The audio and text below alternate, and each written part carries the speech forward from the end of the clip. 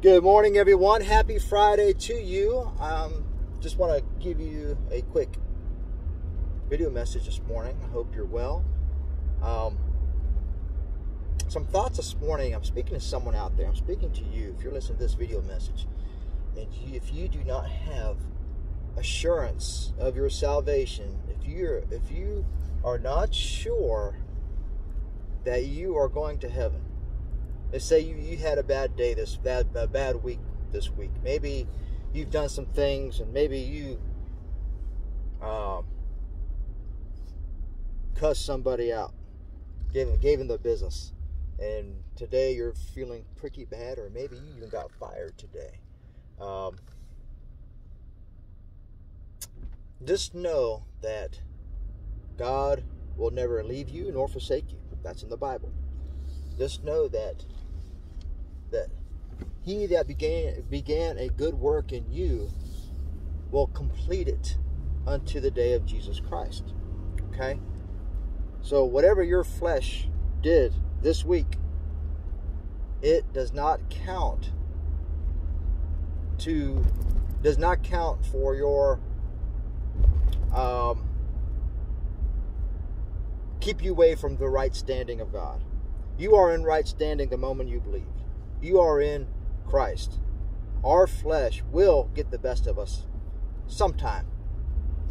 Um, we're because we're still stuck on this earth. We are not perfect. We we are going to fail. We're going to mess up, and God knows that. That's why He sent Jesus, right? That's why He sent His only begotten Son down to take away the sins of the world.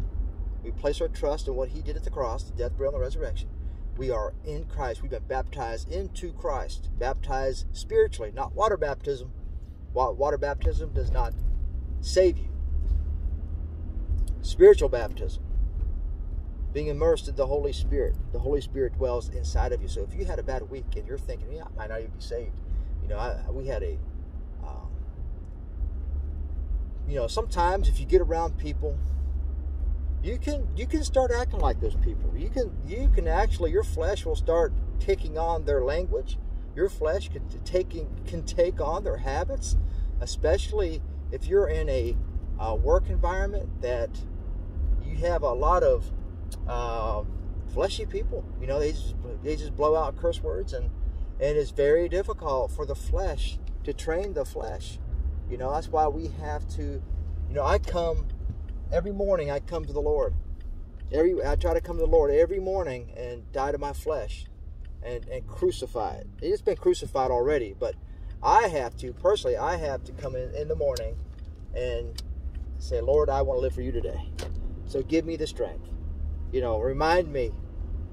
Holy Spirit will convict us of righteousness. He doesn't convict the believer of sin, he convicts of righteousness. Okay? And to remind me who I am and whose I am and be that ambassador for Christ. So when you do get around people that are of the world or fleshy or um, you, you can you can stand in the Holy Spirit, you can stand in Christ and put armor put your whole armor of God in on stand therefore, right? So we have to stand therefore. Put on your whole armor of God for that reason. So we do so we don't fall in to uh, temptation, fall into sin. But if you if you did sin, if you are not sure, if you don't have assurance, you might be mad at God right now. You might be shaking your fist, asking why. Why are you at? You know, you might be asking why God. Well, there are no whys in heaven. Okay, there there is only faith. There's only faith. That's the only thing He can He can. Uh, assure you of is that you are His, and He will never leave you nor forsake you. No man can pluck you out of His hand. So, come to Him. Be honest with our Heavenly Father. He sees He sees what, what you've done already. He, he He knows it. That's why He had to go to the cross, and He paid that penalty of sin for us. But we can stand. We can go boldly to the throne. Jump on our Father's lap and tell him about your day. Tell him about your week, the week that you had, and just go day by day. But anyways, I think someone needed to hear that this morning. If you don't have assurance of your salvation, you know the Bible says you are saved. Ephesians chapter 1, verses uh, 13 and 14. You once you heard the gospel, you believe the gospel, you are saved. It's a one-time singular event. So the process is the process is our our daily growth in Christ, not salvation process. There is no salvation, but once you've been um, justified by believing the gospel, you are justified once and for all. That's a one-time. That's a one-time event that happened. So rest in the hammock of grace this morning. Rest in the assurance that you have in God, because His Word is sure. His Word will never um, waver. It's, it has always been the same. He's a stable rock. Okay, Christ is the stable rock. So if you're listening to this video message and and you're beating yourself up, you know, it's time time to quit kicking yourself and start just lift your head up to the skies, lift your eyes to the skies, and thank God for what He has done on that cross. Remind yourself of the gospel. If you're hurting this morning, remind yourself the death, burial, and the resurrection. He, he paid your sin. He paid your sin debt. You can't pay it. He, he had to pay it. He paid it, and that's where our gratitude, that's where we serve out of. That's where we worship out of. We worship out of that gratitude. We worship out of grace. And grace brings gratitude. Grace brings a, a, an attitude of gratitude. So that's where we um, abide in there. So just, just know that God loves you and you will make mistakes. You will continue to make mistakes. You know, ask Peter. You know, he denied Christ three times. He blew out some curse words.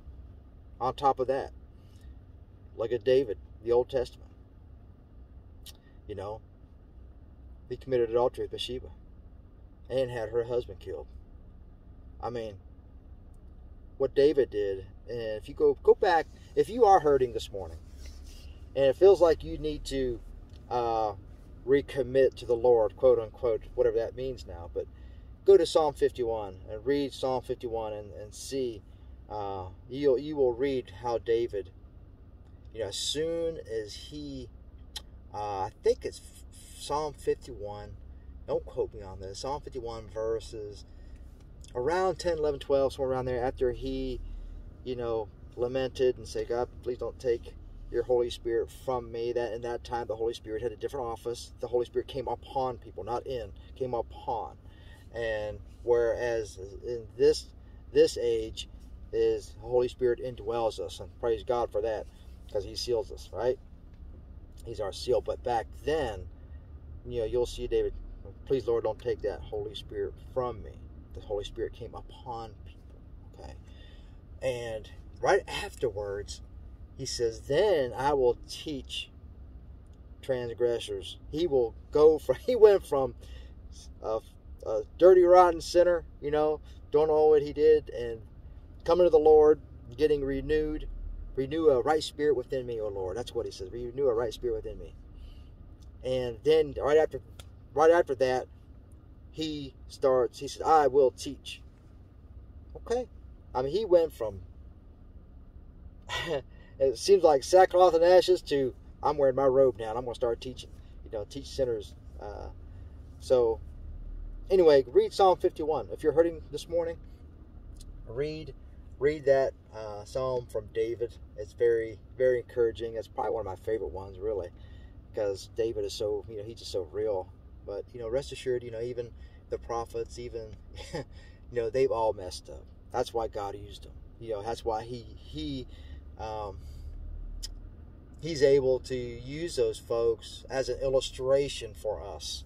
You know, so look, these guys, these jokers here, they're not any better. You know, they, I, I you know, they're prophets. They, you know, uh, they made mistakes, but I'm going to use them. He will use you.